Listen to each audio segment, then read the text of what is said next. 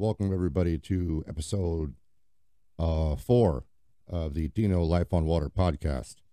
Uh, I'm your host, Dino Halsey, and we're here in my basement, uh, where, as you can see behind me, I've got paddle boards, skateboards, um, boogie boards, um, you name it down here when it comes to life on water. Anyways, what is today? Today is um, February 3rd. Yeah, February 3rd, 2024. So, holy cow, January just flew by, didn't it? Talk about cold, though, about two weeks ago. My gosh, it was negative 20 as the actual temp. I think negative 15. Like, it was really, really cold. I mean, for about a week straight, we were in the negatives, um, if not with wind chills in the negatives, and it was pretty awful. Um, had a pretty crazy snowstorm, um, like I talked about in my last uh, podcast. And um, now, on the flip side, excuse me, uh, like I said, it's February 2nd, and almost all the snow is gone. Um, I think we were in the upper 50s two days ago. Today, let's see, we are in the, um, it's 41 right now. But checking the forecast uh, for the Quad Cities where I'm from, Davenport, or uh, Iowa, Illinois, Davenport, Rock Island area, Moline, Bettendorf. Um, today is the highest 46.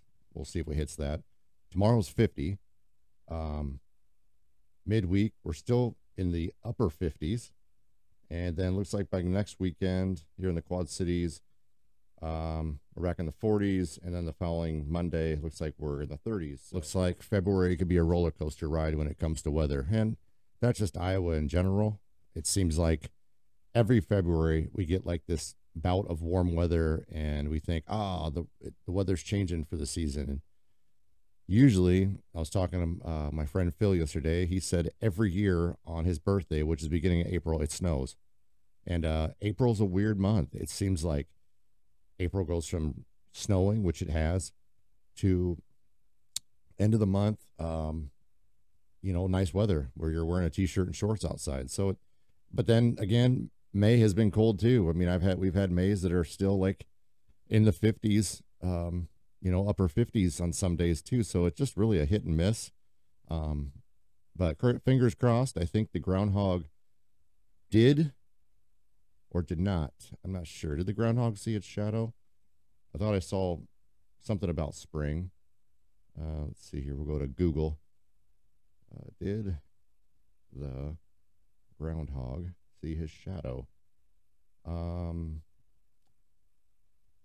it says the groundhog did not see his shadow, predicting that there will be an early spring. All right. Love to hear that. Um, so we'll see if the groundhog was right for 2024. Um, so far, so good. Another cool thing is, uh, I believe all the ice has almost melted. Um, I'm not 100% sure on that, but I would assume after the few warm days, it's got to be either melted or close. So definitely going to go be doing a definitely going to be doing a spot check here soon around the Quad Cities and see what is open water for me to um, get back out on the water and paddle and have some fun. Um, so I would imagine it that this might be the earliest I've ever got to paddleboard in the Quad Cities. Uh, we'll see. Hopefully it stays that way. But um, you'll see on my social media um, what I find out here, and I'm sure a few days. So, anyways, um, how's the weather in your area? I know that you know down south, obviously, it's still pretty warm. On the west coast, it's still pretty warm. Um, I've seen the east coast go up and down. I'd say it's pretty much, excuse me, um, throat's getting dry. Probably the Midwest. That's the most, you know, fluctuating in temperatures. So I did watch um, Cam Hill on his Chill Adventures vlog. If you haven't checked him out, definitely check him out on YouTube. Uh, he's part of Team Dino Life on Water, so definitely check him out. Uh, him and I plan on doing some, uh, hopefully, some great things this summer together, and uh, we will bring that to your attention here in the future. But uh, Cam Hill's new vlog, he was, um, I think he just did it like a couple days ago, like maybe February yesterday day before, possibly. And um, at one point in his video, it was completely like frozen over. Like there was ice all over the beach, went out pretty far into the water. It looked like lighthouses were frozen. And then by the end of his log vlog, um, there was no ice. Like it was just beach. I mean, there was a little bit, but like definitely you could get back out there. So um, I would imagine possibly the rest of the Great Lakes are that way. I don't know about Lake Superior or maybe up in northern Lake Michigan, but uh, that's great news. Um, I actually actually contemplated going up there this weekend. Um, I was going to take my family up to Chinatown in Chicago um, and have some fun and try and get out on Montrose Beach in Chicago. Um, I frequent that a lot, and um, it's a fun beach to paddle on and surf on. Um, right, right in the middle of downtown Chicago on the north side. Um, if you've never been and you're going to visit Chicago sometime soon or uh, the Great Lakes, and you are into water sports, uh, definitely check out the beaches in Chicago. There's a lot of cool ones, on some of them not so cool, but definitely Montrose Beach. You can do it all, and it's free to park, um, and it's huge. So you shouldn't have any trouble any part of any day of the week trying to park there and getting out on the water as long as it's not frozen. Like I said, I don't believe it is. Uh, if you are into paddleboarding, there is a paddleboarding rental service, I believe, on North Beach or or on Montrose Beach, but I know you can get a hold of them. It's a uh, Chicago Sup. Um, they are on Instagram. I believe they they might be on Facebook, and uh, you can probably check out their website. Um, they rent um, paddle boards right there on the shore, and um, I'm just trying to think. I'm not sure if they're on North Beach or if they're on Montrose. I think they're on North Beach, but I'm I'm sure that you could still pick up a paddleboard, and it's not that far a distance. If you rented a, a paddleboard on either beach, you could paddle from one to the other. I mean, it, it's not that far. So, um, especially in, if you were doing it for the day or for the afternoon, um, you definitely could do it depending on the weather and depending on the tide. Uh, that could play into that. But if it's flat and it's warm and you want to get out on the water and try paddleboarding in Chicago, definitely hit up, hit up Chicago Sup. Um, they will hook you up. Um, so yeah, I was going to do that, but plans fell through. Um, actually, I'm busy tomorrow night, so I didn't want to take a chance of something happening if I went out of town. Um, big Florida trip's coming up in a couple weeks. Um, we're leaving, I believe, on a Friday, like the 21st, and maybe that Friday or the 22nd on that Saturday, and um, taking my wife and daughter to um, Disney World. Uh, we're going to go to the Magic Kingdom and then uh, hit up um, Hollywood Studios. And then from there, we've got some reservations up in Panama City at a hotel called the Sugar Sands Hotel in Laguna Beach. Um, it's just west of Panama City. Um, it's a little, it's a lot more quiet. Um, um, and it's just a really cool. I've been there before. Actually, been to Laguna Beach a couple times to stay, and it's um, it's a lot easier to get around in Laguna than it is Panama City. Not that Panama City is extremely hard, but if it's busy, there it is. Um, so yeah, we're going to Laguna Beach, um, and we're gonna be there Wednesday through Saturday. Um, I think that's like the 28th through the second. Um, so if you want to come paddle with me, if you're in the area, um, and um, you want to come hang out and talk or whatever, I will be there. I'm not sure what all of our plans are while we're there. Definitely, probably some R and R after uh, the two busy days, or I should say, probably two and a half busy days uh, down in Orlando at Disney World. Definitely need some beach time, and we're crossing our fingers. I know that the Panhandle um, weather can, can be iffy in the wintertime. I mean, not like here in Iowa, but definitely down there as far as like what to pack, what to take with us. I mean, I think no matter what, I'm definitely going to take my 3 2 wetsuit. Um, yeah, I just, you can use that in 70 degree water. It does not going to matter, but I'd rather be comfortable out there in the water than not. So I think I'm going to do that. Not sure if I'm going to take booties or gloves, but it, I guess I'll just, I'll keep checking the next two weeks. I think the Gulf temperature right now, um, you guys ever use Surf Captain? Surf Captain's a great app for your phone. You can pretty much put where your location is, and it'll tell you where like the nearest, you know, break is, or if you want to know what the beach temp, like the water temperature is at any beach around. I mean, I this is what I use for everything. Um, I know you guys probably can't see that because of the light, but anyways, I'm gonna check. Like right now, Chicago North Side, which would be where Montrose Beach is at. Water temp's 37 degrees, and it recommends that you use a 5-4 wetsuit um, with either five or seven millimeter or more um, gloves and boots. Um, right now it's 30 degrees there, which I was, well, that's another reason why I kind of hesitated because I've talked about this before. I don't have a five four wetsuit or a six five wetsuit. Um, I rock a three two or a three mil, and um, plans are still to get one of those. Hint hint to uh, Hyperflex or Ho Stevie or Seaskin, who's um, not sure if I'm still sponsored by them or not. I've sent them a few emails. Um, I've asked them in the past about if they were going to make a cold water suit. Um, I know they're busy. I think one of their reps that actually I've talked to is on vacation right now. But if I am on a Seaskin, yes, you can guarantee I will try and uh, see if they have a cold water suit. I'd love to have it before um, March, but you know, if not, whatever. Um, so that's the plan. Anyways, so anything you want to know about your local break or a break or a vacation you might be going to, you want to check the beach, you just have to go to Surf Surf Captain uh, for an app on your phone, possibly I'm sure online too. And uh, like right now, like I said, Chicago, uh, Montrose Beach, um, 30 degrees, six foot at two seconds, which basically is no waves, flat. Um, water temp, like I said, 37 degrees, and okay, we already went over the wetsuit thickness it actually tells me the swell. Like right now at 2 p.m it says flat and choppy. Um but i can go all the way till wednesday. I'm i don't pay for their pro. I only get five days. If you do their pro um and you pay for it you get 16 days out. Um but as far as the great lakes like on montrose beach from now until wednesday it is completely flat. I mean there is no waves whatsoever uh coming doesn't mean it's 100% accurate, but Surf Captain, from what I've been told, is the most accurate. I mean, I don't get a chance to use this this often because I don't have waves where I'm at. I, like I said, I got to travel to travel to the Great Lakes. Um, that's the closest surf break I'm going to get. So I just don't, and I don't get up there that often between my schedule at work, uh, home life, and um, just, you know, I'm not able to do that. I'd like to do it more, and we've I've talked about that as far as this summer and coming up here real soon, which I do want to make happen. It's just um, I got to keep working at it. So I would love to be able to go up to the Great Lakes once a month and see all my friends around there that have supported me and sent positive messages. And um, I would love to hang out um, more often uh, than I did. I don't know if I even got up to the Great Lakes once last year. I can't. I don't think I did, but I would.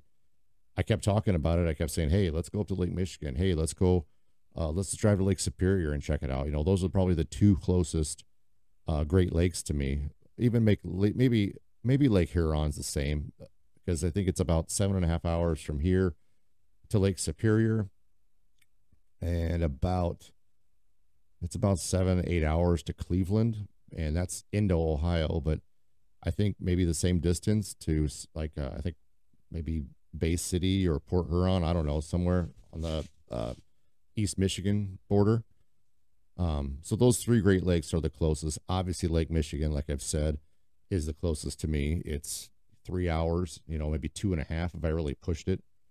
Hell, maybe two hours if I really, really pushed it and wanted to get a speeding ticket or be, you know, but um, I think the closest beach actually is Montrose Beach, Montrose Avenue, Be- Avenue Beach in Chicago. From my doorstep to there is, oh, think about 185 miles. I guess I could look it up on my phone real quick, but um, let's see here. Google Maps does wonders for me. I always, I'm always trying to look at a destination or something and see how far it is for me, and I contemplate in my head how much gas it's going to take and how much, you know, all this stuff. But let's see here. So we'll go my location to Montrose, Montrose Beach. Um, right from my doorstep to there um, is 194 miles. I think that's the closest one. Um, I'm not sure if I could try Whiting, Indiana. That's another cool beach on the south side of Lake Michigan. Um, let me see here. It's almost identical. It says 187 to Whiting and Whiting is the town of Whiting, but Whiting Beach, I think it has another name, but I think it's, anyways, been there. It's about the same exact distance. So, that being said, I could be at Montrose Avenue Beach or Whiting um, in Chicago, Illinois, or Whiting, Indiana, Whiting Beach, um, even the Portage Lakefront, probably in around the same distance. Um, in my experience, for me, if you are thinking about going, even Kenosha, I think you could make, I think it's about 200 miles from here, the Quad Cities. But to be completely honest, I would rather take the traffic if you left early enough um, into Montrose Beach, like taking 55, um, 50, taking 55 north to Chicago, then taking, I can't think what the highway is. Uh, it's, I think it's, you take I 80 most of the way, then I think it turns into I 90, but there's like a, it's like a place there at the Indiana Illinois uh, border.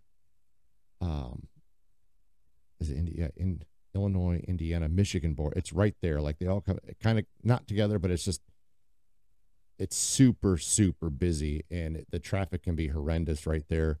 Actually, the traffic gets really really bad. Um, right about when you hit Joliet, the, if you're headed that way to go to that beach from this area or from west to the east coast, and you go through there, I'm just going to forewarn you, the traffic is very, very fast from Joliet past that border into Indiana or into Michigan. Um, and then it slows down a bit, but it is extremely quick through there. So, and the traffic can be three, I don't know if it's three or four lanes, maybe it's five lanes. Um, you're going quick and it can come to a dead stop real quick. So definitely be careful if you're ever headed that way. Um, the Kenosha drive for me is pretty lot, pretty simple. I mean, you take 88 to 39 north, and then you just, I can't think what highway it is, but then you get off and you go into Kenosha. That's the easiest way. Um, like I said, to Montrose Beach from here, you take I 80 west or east to, um, I always take 55 north into downtown, shoot up Lakeshore Drive till I find Montrose. You know, you pass, um, you pass down downtown completely and you're headed towards, uh, the north side, and it's not too far once you pass downtown um, or main downtown to uh, that beach. Um, so it's really not that bad a drive. But I will tell you, if you do plan on going to Montrose Avenue Beach in Chicago, um, I would definitely try and get there between the hours of like uh, 10 to like 3 because if you're going through that morning commute in Chicago and it's during the week, you're going to be in traffic. And on top of that, if it's during the week, and you're coming out of Chicago trying to get back down 55 South um, to get out of town, the traffic can be gridlock. Um, and I've been in it, and it's taken me a long time to get out of Chicago. So if you're shooting between 10 and 3, I think during the week or weekends are different because nobody really works. Um, it's just not nearly as busy. You can get through a lot faster in the weekend. You're going to get in traffic no matter what in downtown Chicago. I don't care what day of the week it is. It just depends on how bad it's going to be. I mean, from off of getting off 55 down Lakeshore, going north, you're going to hit traffic. I mean, there's lights. There's it's just there's you know millions of people that live there. So, um, anyways, so as I was saying, let's go back to the Panama City thing.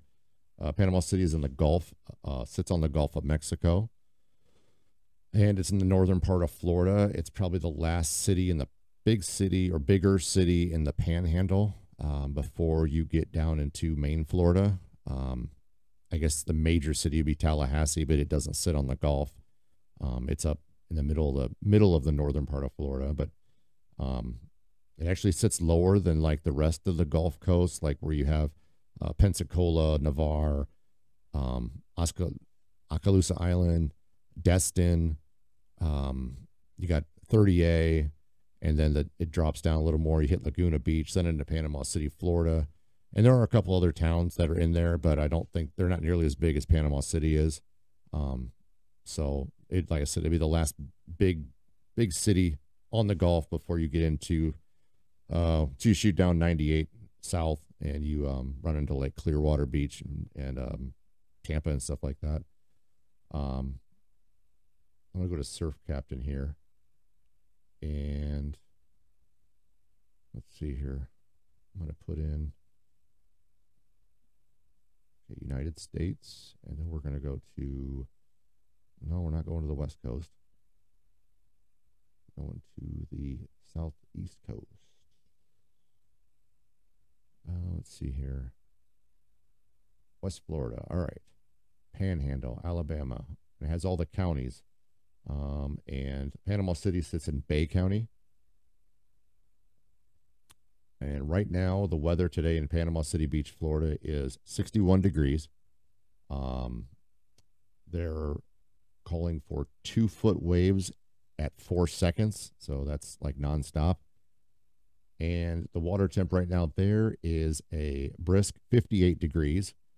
Um, and it says you should be wearing a 4 3 wetsuit with three millimeter gloves um, to be comfortable to have a good day to have a good day out in the water um, today. So, you know, 58 isn't, you know, 38 or 37, but it's cold. You know, you're not going to go down there and go swimming in your board shorts at 58 degree water. I mean, it's cold. So definitely would rather have a good time and have a wetsuit on because we're only, like I said, what's today, the 4th, and I leave on the 22nd. So, well, I guess I won't get till the 28th. So that's 24, 24 days. In three weeks' time, that Gulf is not going to warm up 10 degrees. It's just not going to happen. So, um, I definitely will be at least taking my 3 2 with me just to be sure. Um, I do have a 3 2 jacket and a 3 2 pair of pants as well. And I think a two millimeter vest. Um, I do have three millimeter boots and seven millimeter boots and gloves as well. But I think I'm going to have to take my full suit and not my jacket pants suit. I don't know. I just, I'd rather have more fun and not worry about being cold than, um, or be protected and not have to worry about not having fun. So, um, that will be the plan unless anything's changed. I do plan on, on, I do plan on, um, lost my train of thought. What was I to say? Um, I don't know. We got some dead air here. I had, it was there, and it, you guys ever have that happen to you? Like you have something you want to talk about, and all of a sudden it's just boom, gone. Like I don't even. How does that happen? Like, is it because you're not really in focus of what else you want to talk about? Um. But yeah, that's hmm. Anyways, I'll definitely be taking my where, where's my hand here? My iRocker, um, 11 foot all around ultra board. Um, if you are looking to get into paddleboarding or want a new paddleboard or whatever or want to know about paddleboarding, definitely hit up iRocker. I think it's irockersup.com. Um, they will hook you up with what you need, what size you need. They've got great deals. They've got clearance boards right now. I think I think you can pick a board up for like 200 bucks right now. I mean, brand new. And I mean, that's a, that's a great deal. I mean, I think it's just like the white right here. Just like this white one, this nautical behind me. I believe it's similar to that. I don't think it's a package. You do get fins, I think. I'm pretty sure you get fins, but you'll have to buy a paddle separate. Um, but even so, I mean, you can buy a paddle for 50 bucks, 100 bucks. I mean, so for, for, you know, you won't get the bag to put it in, but if, if you don't care about that, like I said, but they also are running deals, I think, with possibly even something like three or four hundred dollars. Um, well, heck, let's just check and find out. Um, we got about um five more minutes before we got to call it quits on this podcast. So I hope you guys have enjoyed the content so far. Um, Let's see here. We're going to go to irocker.com. And um, yeah, right now on irockersup.com, you can get this board behind me, this white one on the floor, Nautical 10.6. It's an inflatable, just like the one behind me. Um, comes in four different colors. And wow, there's only two left in stock. So if you want this deal, definitely hit them up. But it comes with, um, I believe, here's see what's inside the box. You get a board, you get a three piece fiberglass paddle, you get a hand pump, um, you get a leash, a travel backpack, three fins, and a repair kit, uh, which includes uh, patches, the valve wrench, and some glue in case you put a hole in it. Um, you can't beat that. Like 300 bucks. And I'm not I'm telling you here, they are one of the best paddle brands in the world. Um, I've rode both of these boards in all sorts of conditions, ran into rocks, um, sticks. I mean, the the lake I go to, Lost Grove Lake, the most is full of trees that are cut off in the water and sticks and debris and nothing. Never had a problem with it. Um, so don't listen to all the uh, message boards or whatever. You know, never had a problem. I've surfed both of these boards before. Both of those boards have been in waves and surfed with them. Had an absolute absolute blast. So you can surf with them. Um, you can just chill and lay down. Like I said, they're 11 foot long. So if you just want to go and hang out by a tree or just sit on the, you know, sit out in the water, what better way to do it than on a paddleboard? And like I said, so yeah, 300 bucks right now. $299 is that whole kit. Um, for the nautical. Like I said, they're great boards. Um,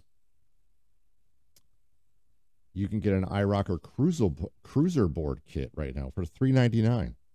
Just a step up from the nautical. Awesome board. Um, and if you want to spend, you know, a little bit more, you can get the iRocker all around, which is right above that. That's five hundred and twenty nine dollars for everything. And heck, you can even get their Blackfin model on clearance for 449 and all really good boards and you get packages with all of them you get everything you need to go paddleboarding is in is in the box you are out on the water as soon as you get it and you know the best thing about inflatable paddleboards is, is there's no room involved like when i was using a hardboard and i love hardboards don't get me wrong if you have the ability to carry one and you have awesome. You know, I'd like to have a hardboard on my quiver behind me, definitely. Um, but anyways, the benefit to an inflatable is you can see the backpacks behind me. There's one of them for the iRock for the uh, iRocker Ultra, and then that that crap that one that one there is for the nautical that's on the floor. Um, you get both of those, all of it with it, and you can just throw it in the back of your car, throw it in the seat, and all the stuff goes inside of the bag.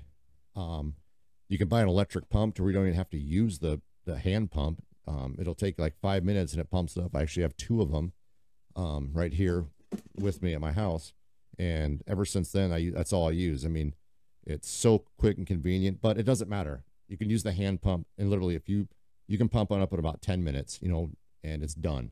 So if you want to go hiking with it, put it on your back.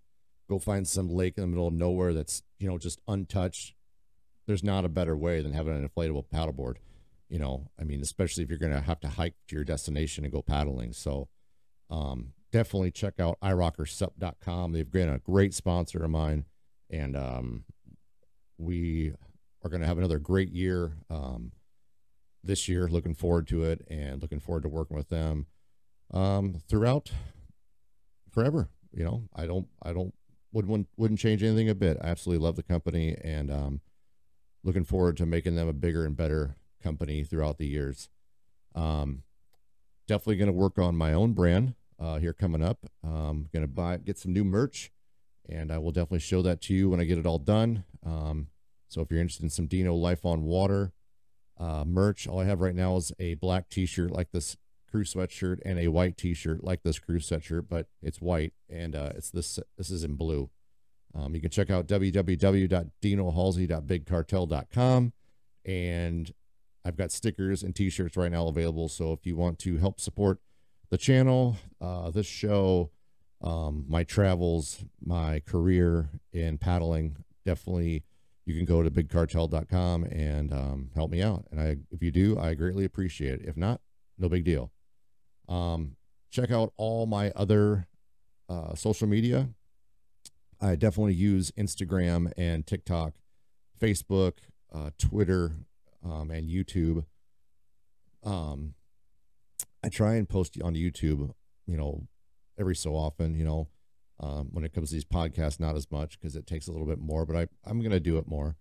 Um, but I definitely post on Instagram and Facebook every, uh, every other day pretty much pretty frequently every other day I try to do. Um, and so you can check me out at, uh, at Dino Dash Halsey on Instagram. Um, look up Dino Halsey on Facebook. There's actually two accounts, but look for the uh, picture that says Dino Life on Water. It's a picture like an American flag on the middle of it. That is my Facebook that I use all the time. Uh, check me out on Facebook and Instagram. Come say hi. If you're on Twitter, same thing. Dino Halsey. Um, look me up on there. And TikTok, I believe it's at Dino Halsey too. Um, I try and post videos on there um, every other day. Uh, you know, every other day, every third, every sec, every three days. Um, you know, of my adventures and what I'm doing. Actually, right now, I should have got something to drink right now. Um, I've been posting a lot of weightlifting videos. I've been in the gym now for three weeks, three days a week, and um, I'm feeling better and better every day. I've actually lost a little bit of weight, and I feel stronger. And I'm really looking forward to the 2024 panel season. Um, the reason I'm posting so many weightlifting videos right now is because it's frozen and I'm not on the water. So I'm not just going to sit at home. I'd rather work on getting stronger for the paddle season. So that's why I'm posting weightlifting videos.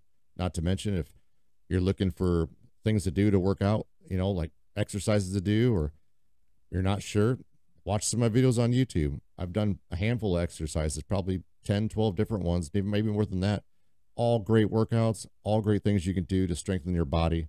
And um, so definitely check out um, Dino uh, Dino Life on Water on on this channel. You uh, there's plenty of stuff you can watch, and it will help you. With that being said, I appreciate every one of you. Thank you for all your support. Thank you for um, watching this video. If you're watching right now, I really, really appreciate it. Thank you. Um, please um, continue to watch. If you have questions or comments or want to ask me anything, feel free to do so um, in the comments, or you can um, hit me up on one of the social medias and message me.